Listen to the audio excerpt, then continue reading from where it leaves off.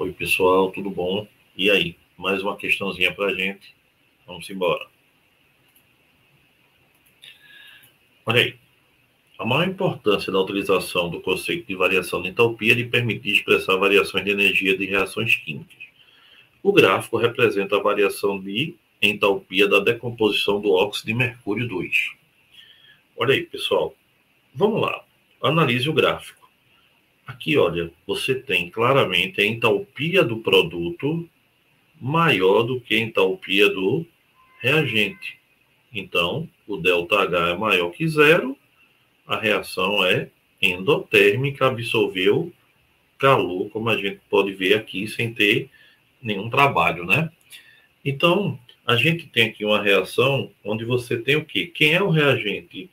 HGO, óxido de mercúrio, dando mercúrio, que é líquido, né? E liberando o meio de oxigênio. Essa reação é uma decomposição, tá? Então ele fala, a entalpia de formação do óxido de mercúrio é menos 90.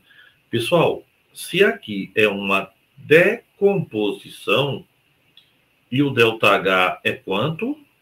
O ΔH é 90 se eu quero fazer agora uma reação de formação, onde eu vá usar a mesma reação invertida, então o ΔH vai ser não mais 90, mas menos 90 kJ. Então a entalpia de formação para formar um mol do composto é letra A. Mas vamos ver, letra B. As entalpias do mercúrio e do oxigênio são diferentes de zero na formação de um mol. Não.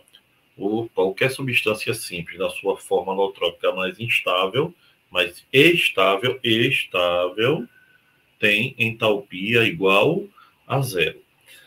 Letra C. A diferença de entalpia dos produtos e dos reagentes na decomposição do óxido de mercúrio é igual à entalpia de formação da substância. Claro que não, né, pessoal? Letra D. A quantidade de energia absorvida na decomposição do óxido de mercúrio é diferente da quantidade de energia liberada. Não. Absorveu 90, liberou 90.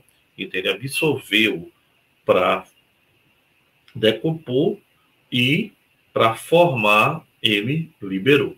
Né? Então, é a mesma quantidade. E letra E, a mudança do estado físico de produtos e reagentes de reação química não altera. Claro que altera uma substância simples no seu estado físico normal e no seu estado alotrópico mais comum tem entalpia zero. Se mudar, muda tudo. Então, letra A. Isso foi legal, não foi? Beijão, estamos por aqui.